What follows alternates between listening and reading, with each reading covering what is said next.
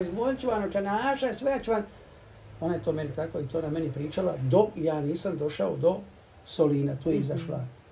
I, ovaj, I onda ti ona meni dušo, dušo, dušo, i meni, ja sam nju samo puštao nek ona priča. Znaš, ona koliko je baš, taš mi platka, nisam ja ba ništa, izmorio čenaš, znaš, to je bilo Mm. tako.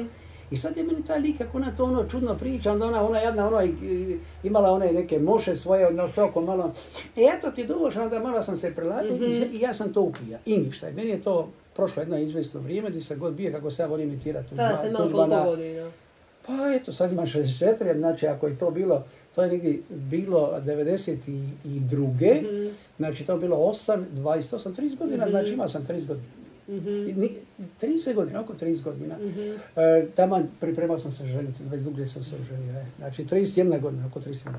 I onda sam ja to malo svagdje, a Ivana ono imitiraj Tuđmana, imitiraj mi Sipu Mhm. Mesića, imitiraj ovog Strikana, znači to volio sam imitacije, volio sam malo džeza se i tako, pričam vicove i glavno. Uglavnom bilo mi je lik e, kao žene najzanimljiviji. I onda je došao rat, pokupilo me, ja sam došao dol na južno bojište i samo bila Srećko Mandić. Srećko Mandić iz Kaštel Staroga, on je već radio emisiju Happy Time na radio Kaštelima i sa Marko Vrdoljak, Tonči Katalinić i on. Mhm. Mr. X Simpson i on je bio u Vunuk Mate i tako dalje, vodili su uživo emisiju i tako dalje. Kad je došao doli, on to mi nešto počeo pričati, ja ono njemu babski vratio, malo terenu, znaš kako je to ratije, onda mi se malo šale i to njemu grozi. I on kaže, bili ti meni htio doći na radio, pa može se kao baba Manda, nešto kao tako, kao, kao neka baba. Kao baba. Mhm. Kaže, ja govorim, pa dobro meni, ajde ja ću do... I on to mene dovede u radio i šta ću ja meni pa na pamet, kaže žena kako je ona govorila, znaš, Manda, pa ne, pa na Manda je gotovo. Baba Manda. Mhm. On je progovorio tad na radio kažete, i onda sam išao ponovo u teren, sedam kući, sedam teren, i on je hoće kasnije babu Mandu.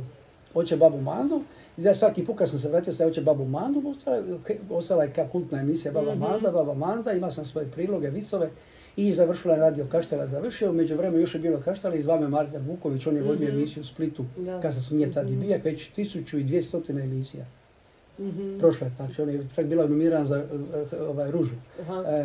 E, ovaj, I sve je bilo vamo tamo i, i onda me zvao ovaj pozitivno, bio sam televiziji, malo Bobo Mando sam spominja, pa isto tako, znaš, to sve i onda nastup, zvali su me svagdje, onda sam nastupao, od, Mhm.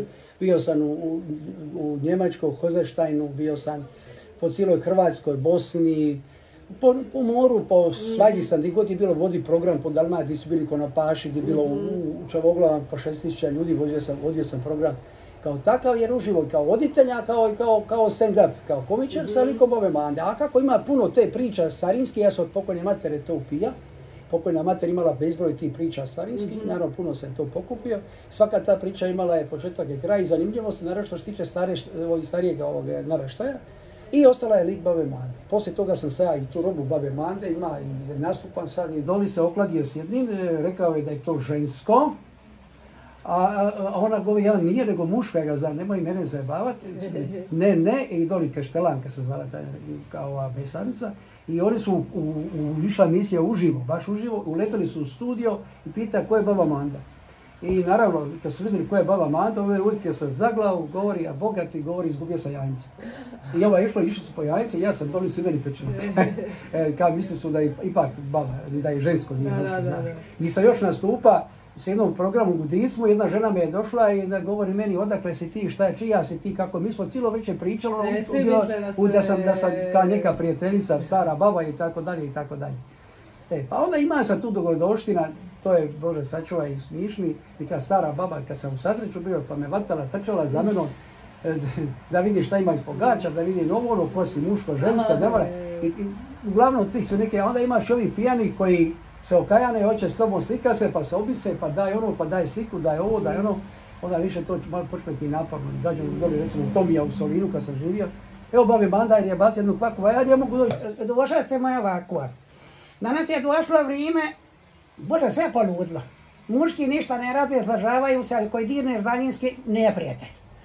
Šta je progovorio, progovorio, svađa odmah na oma nama. A zašto? Onda odmah uključi on, je ti si prva počela, ja sam prvi, ti nisam nego ja, ajmo, ajmo, fresh corner, ključe tamo da vidimo tamo šta je. Onda se vidi, aha, vidiš da si prva počela. E, ništa, muž leži na kauču, pusti ga na miru, a žena ide rad. I onda kad se ona vrati kući, znaš, onda ona dođe s vrata i onda to ona govori.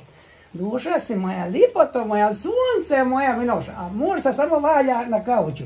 To kaže onome cuki malo a mužu kaže i ti si tu tak. To je kad došlo tako vrijeme, može mu ti više ne znaš koje je muško, koje je žensko.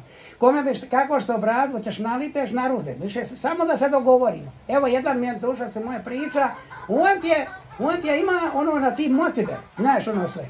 I nešto je radio. Bože moj, stavio motibel odati iza leđa, to je džepić, oli, nešto se sagija da će dignit, ono učini krc. Bože daj da su leđa, samo da nije motibel. Sve su oko motibela. Sidi momak i curate ovako, sidi dole, oni mogu pričati šta hoće, a oni samo priko motibela volim te, ljubim te, sve, onda nema isto ljubavi ništa. Motibel je sve privuzeo, aj ča. Nema ljubavi, sve epika, epika, nema ništa lirike dušasti moja.